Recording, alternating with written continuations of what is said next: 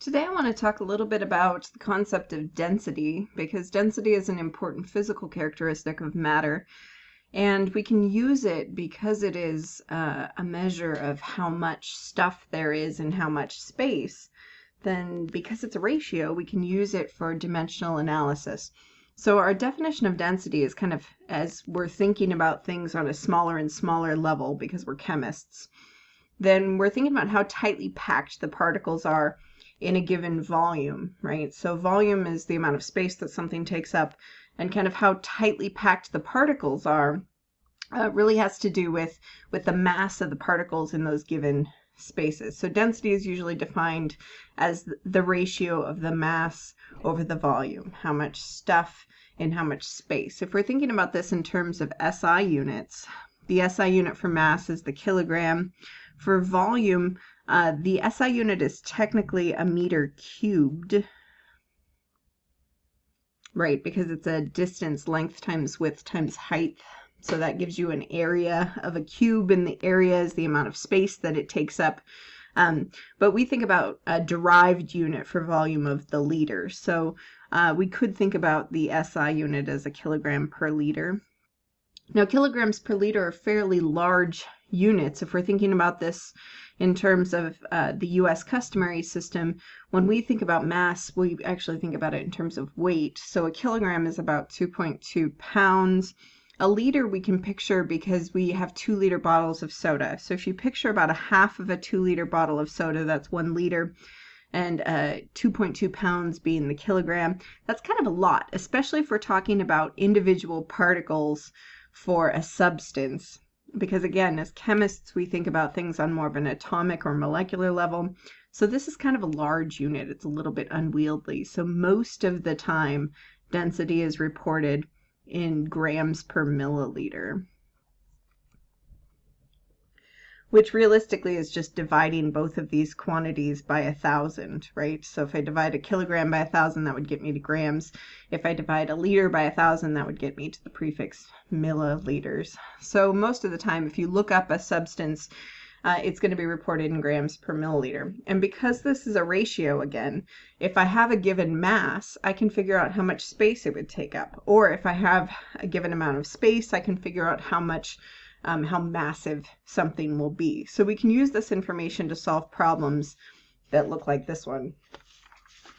So I looked up the density of gold and it's 19.3 grams per milliliter. So if I have one liter of gold, again picturing that half of a two liter bottle of soda worth of gold, which would be awesome, then we can look at its mass in grams. So let's set this up. We're trying to get from liters. We're trying to get to mass.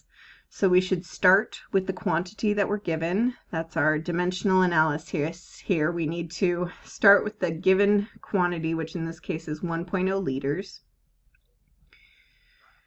Now I need to find some relationship that's going to divide out the liters but that I can use my density to still get me to mass because the mass is going to be in grams. So I have a gram there, but I need to find something that will get me to milliliters so that I can use this to convert from milliliters to grams. So because it's the metric system, I know how to get from milliliters to liters. I know that in one liter, there are a thousand milliliters. So that's good. That gets me to milliliters. And at this step then, my liters will divide out. So now I'm going to find a conversion factor where I have milliliters on the bottom and mass on the top because that's going to answer my question here. So I have grams on the top here, so I have 19.3 grams for every one milliliter. And this is an important piece about density. And I apologize that my screen keeps kind of uh, cutting out and freezing on you here. But density is 19.3 grams is equal to 1 milliliter. I like to think about it as an equality because again these conversion factors have to be equal on the top and bottom because I'm essentially just multiplying everything by 1 and that's how I can get away with converting units this way. So if I think about kind of unpacking this unit to say that for every 1 milliliter which is one cubic centimeter too, right? One cc, which is one cubic centimeter. So if we think about um, a quantity of our gold, for example, that has a cube of gold that has a centimeter on each side, right? So length times width times height, each one of those is a centimeter, then that gold would have a mass of 19.3 grams. Okay, and that's kind of what the information that we're given from a density. So we can use that information then in our ratio here, and when we multiply this out, then we end up with 19,300 grams.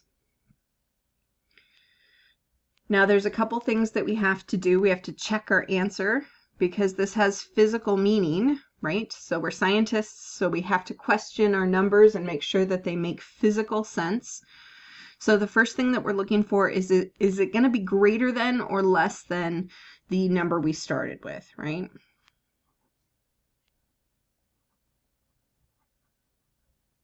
So our original number was a liter. It was a liter of gold. We know that it has a density of 19 grams per milliliter, and we know that there's a thousand milliliters in this liter, so we're expecting this number to be quite a bit larger than one, right? So that's good. So far, so good. I don't distrust my calculator yet. The second thing we have to do is look at sig figs because we are thinking about the precision of our measurements here and density is a property of matter that's actually temperature dependent. So if I change the temperature, then I change the density of my particles because of kinetic molecular theory. If I increase the speed and motion of my particles, they're going to spread out a little bit.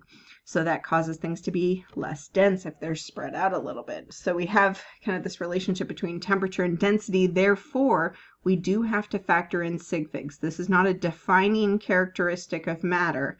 It's something that's measured.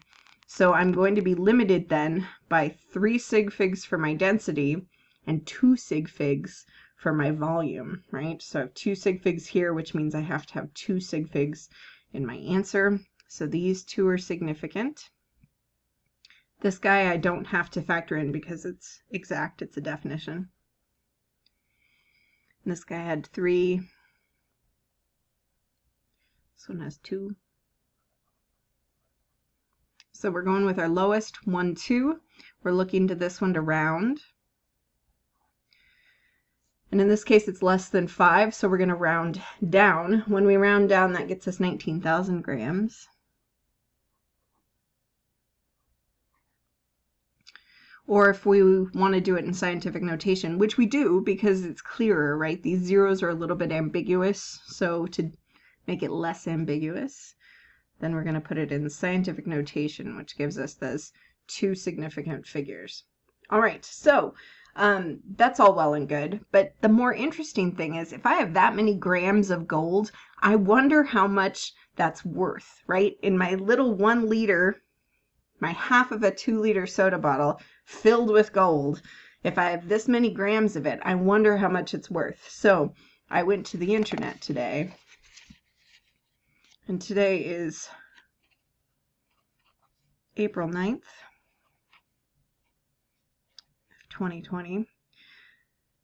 So as of today, one gram of gold is 54 $0.68. So $54.68 is one gram of gold. So that's kind of, um, that's the current worth of gold. So let's, uh, let's figure out how much that's worth. Again, dimensional analysis to the rescue when we wonder about things, right? And we as scientists are always curious about the world. We wonder th about the way that things work. If I have this much, I wonder how many Skittles I could buy with it. So if I have one gram, and that's $54.68. Then it comes out to a whopping one million thirty-eight thousand nine hundred and twenty dollars. Wow. so my one liter of gold would be worth a whole lot of money. And again, I didn't take significant figures in here. How many significant figures should I have?